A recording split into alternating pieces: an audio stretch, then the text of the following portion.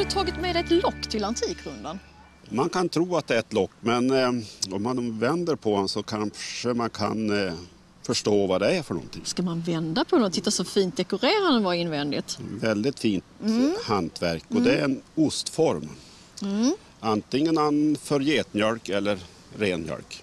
Och så blir det en sån här liten näpen ost. Ber- Berätta lite grann hur det går till. Ja, osttillverkare vet jag bra nog lite om, men man måste ju ha ostlöp i alla fall. Ja. Och eh, mjölkade sina getter och så tillsatte man löpe och lät det stelna och sen då satte man tryck på den här. Och, och så fick den sån här liten vacker form efteråt, osten, när man, Ost- själv, när man skälpte upp upp den, den. ja. Så fick man liksom den här vackra, vackra, lite festliga formen. Och eh, ASS, vem är det? Det kan vara Anders Schaggo Schulson eller något liknande, alltså min, min morfars far. När levde han? Han var född, tror jag, kring 1820. Så den och dog då 1890 någonting.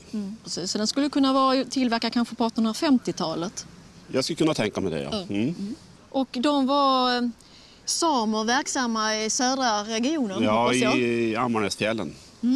Och eh, det var ju så att när man flyttade till sommarvisterna förr i tiden, då hade man också med sig getter. Bara för att få mjölk och göra getost. Och när serverar man den?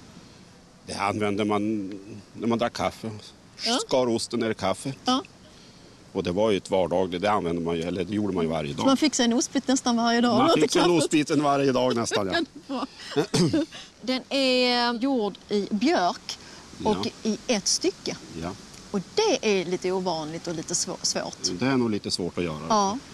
Ja, Jag tror att rätt många samlare faktiskt skulle gå, gå loss lite grann på den här. För att, just för att den är, är o- gjord ett stycke. Och så Ja. härlig känsla i den.